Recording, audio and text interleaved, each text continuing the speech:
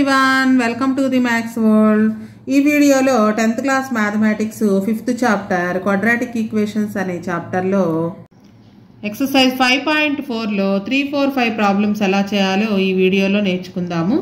Third problem is it possible to design a rectangular mango grove whose length is twice its breadth and the area is eight hundred metres square if so find its length and breadth ఒక mango grove ఉంది. దాని యొక్క length breadth కంటే twice ఉంటుందంట. దాని area కూడా ఇచ్చారు. అయితే లెంగ్త్ బ్రెడ్త్ కనుక్కోవాలి. చూడండి మనకి మ్యాంగో గ్రోవ్ అన్నాడు. అంటే మామిడి పండ్ల తోట అనమాట ఆ తోట యొక్క లెంగ్త్ బ్రెడ్త్ కంటే ట్వైస్ ఉంటుందంట. దాని ఏరియా కూడా ఇచ్చాడు. అయితే ఆ మ్యాంగో గ్రోవ్ మామిడి పండ్ల తోట యొక్క లెంగ్త్ బ్రెడ్త్ కనుక్కోవాలి. ఫస్ట్ బ్రెడ్త్ని ఎక్స్ అనుకుందాం. Let the breadth is equal to X. Length దానికి టూ టైమ్స్ ఉంటుంది. ట్వైస్ అన్నారు కాబట్టి లెంగ్త్ బ్రెడ్త్ కంటే two times. So length is equal to two X.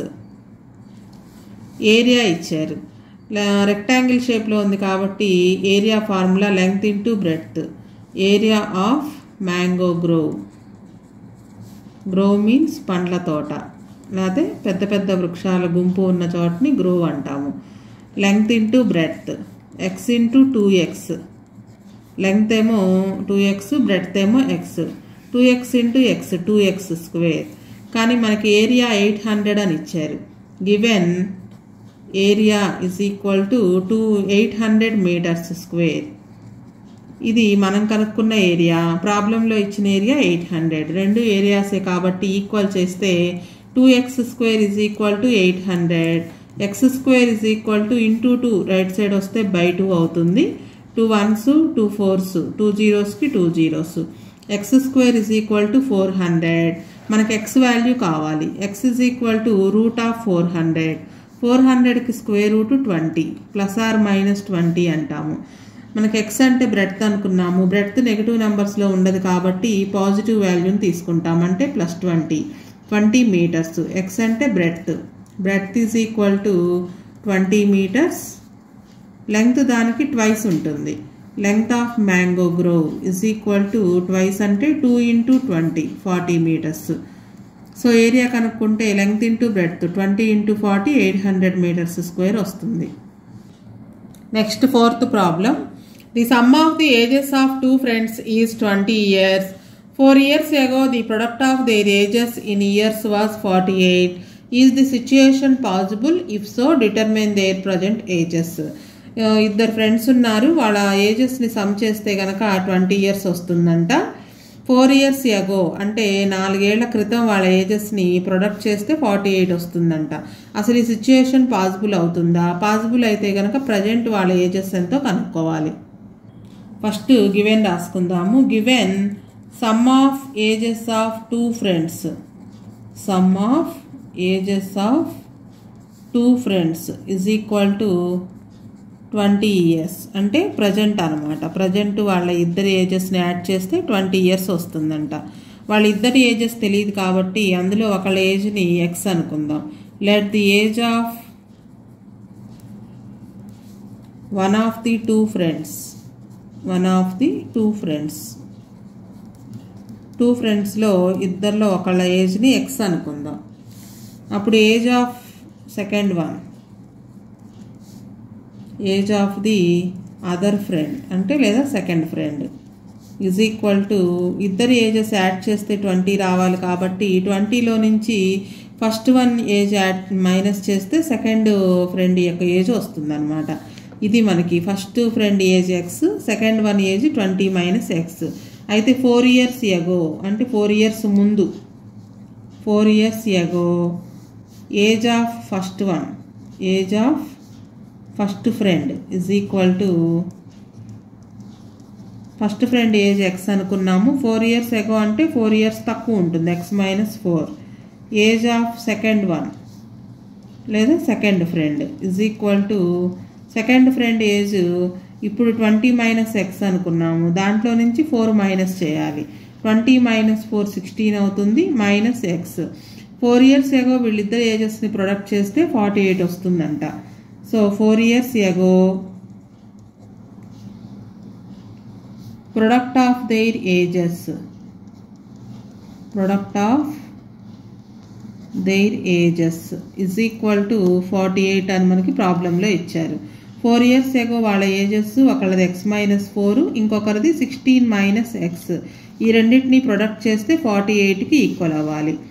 ఈ రెండింటిని మల్టిప్లికేషన్ చేయాలి. ఎక్స్ తోటి ఈ రెండింటిని మల్టిప్లికేషన్ చేస్తే x into sixteen plus x into minus x next four తోటి మైనస్ ఫోర్తో మల్టిప్లికేషన్ చేయాలి. Minus four into sixteen plus minus four into minus x is equal to forty eight multiplication చేసేటప్పుడు వాటి ముందు ఉన్న సైన్తో సహా రాసుకోవాలి. టూ నెంబర్స్ మల్టిప్లై చేసేటప్పుడు. Sixteen into x sixteen x x into x x square ఒక నెంబర్కి మైనస్ ఉంది minus x square sixteen four jar sixty four ఒక నెంబర్కి మైనస్ ఉంది minus sixty four minus into minus plus అవుతుంది four into x four x is equal to forty eight minus x square x terms sixteen four రెండు positive numbers add చేస్తే twenty x minus sixty four ఈ forty eight కూడా ఇటు వస్తే minus forty eight అవుతుంది is equal to zero minus x square plus twenty x ఈ రెండింటిని add చేస్తే sixty four forty eight add చేస్తే ట్వెల్వ్ లెవెన్ వన్ ట్వెల్వ్ వస్తుంది. మైనస్ రెండిటికి మైనస్ ఉంది కాబట్టి minus one twelve is equal to zero దీన్ని general form of the quadratic ఈక్వేషన్తో compare చేసి ఫస్ట్ డిస్క్రిమినెంట్ వాల్యూ కనుక్కుందాం. Comparing with the general form of the quadratic equation a x square plus b x plus c is equal to zero a is equal to minus one b is equal to twenty c is equal to minus one twelve b square minus four a c value కనుక్కోవాలి. B square minus four a c b square అంటే twenty square minus four into a value minus one b value minus one twelve రెండిట్లోనూ minus ఉంది. ఇది ఫార్ములాలో minus twenty square అంటే four hundred minus minus into minus plus మళ్ళీ plus into minus minus. అంటే మూడు మైనస్ని మల్టిప్లికేషన్ చేస్తే మైనసే వస్తుంది. వన్ ట్వెల్వ్ ఫోర్ జా four twos eight four ones four four ones four four forty eight వస్తుంది. స్మాల్ నెంబర్లోంచి బిగ్ నెంబర్ మైనస్ చేస్తే మైనస్ వస్తుంది. ఫోర్ హన్ ఫోర్ ఫార్టీ ఎయిట్లోంచి ఫోర్ హండ్రెడ్ మైనస్ చేస్తే forty eight. B square minus four a c value negative number వచ్చింది. Negative number కనుక వస్తే real roots రావన్నమాట. There are no real roots. There are no real roots అంటే roots real numbers రావు. కాబట్టి మనకిచ్చిన ఈ situation అనేది పాసిబుల్ కాదనమాట. కాబట్టి ఈ సిచ్యుయేషన్ అనేది పాసిబుల్ కాదనమాట. The situation is not possible అంటే వాళ్ళిద్దరు ఏజెస్ యాడ్ చేస్తే ట్వంటీ రావడం అలాగే ఫోర్ ఇయర్స్ బ్యాక్ వాళ్ళిద్దరు ఏజెస్ని ప్రొడక్ట్ చేస్తే ఫార్టీ ఎయిట్ రావడం అనేది పాసిబుల్ కాదు. This situation is not possible real roots రాదు కాబట్టి సిచ్యుయేషన్ కనుక్కోవడం ఉండడం అనేది పాసిబుల్ కాదు. Next fifth problem is it possible to design a rectangular park of perimeter eighty metres and area four hundred metres square if so find its length and breadth perimeter eighty metres ఉండేటట్లు area four hundred metres square ఉండేటట్లుగా rectangular park design చేయడానికి possible అవుతుందా? If so అంటే possible కనుక అయినట్లయితే ఆ rectangular పార్క్కి length breadth ఎంత అవుతుందో కనుక్కోవాలి. First given రాసుకుందాము. Given perimeter of a park perimeter of a park is equal to eighty metres రెక్టాంగిల్కి perimeter formula two into l plus b is equal to eighty l plus b is equal to two right side వెళ్తే మై by two అవుతుంది. Two ones two forties అంటే లెంగ్త్ని బ్రెడ్త్ని add చేస్తే forty రావాలి. మనకు length ఎంతో breadth ఎంతో తెలియదు కాబట్టి let length of rectangular park is equal to x అనుకుందాము.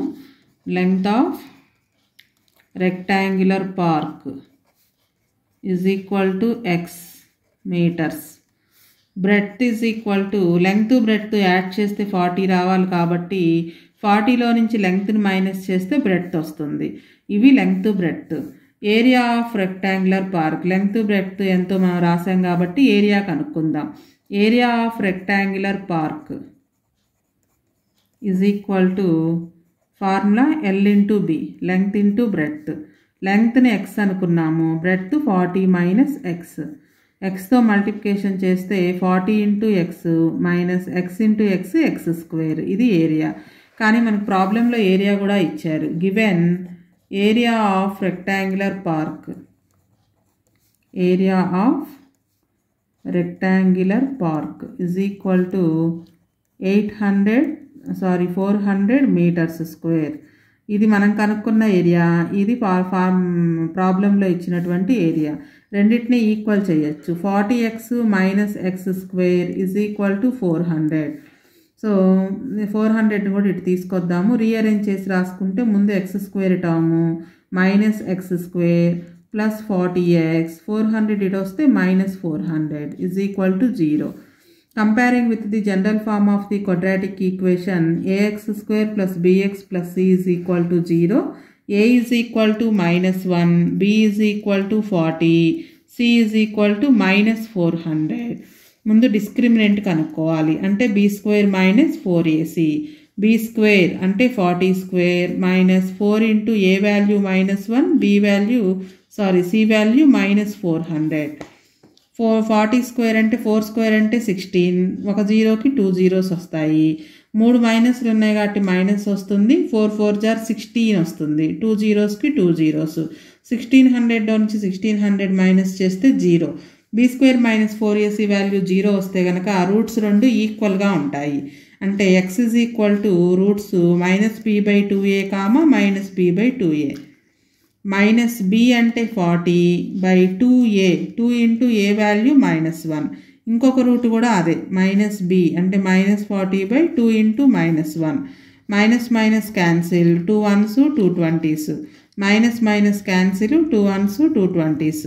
Twenty comma twenty. Roots రెండు ఈక్వల్ అనమాట ఎక్స్ అంటే మనం అనుకుంది లెంగ్త్ ఆఫ్ పార్క్ని ఎక్స్ అనుకున్నాం.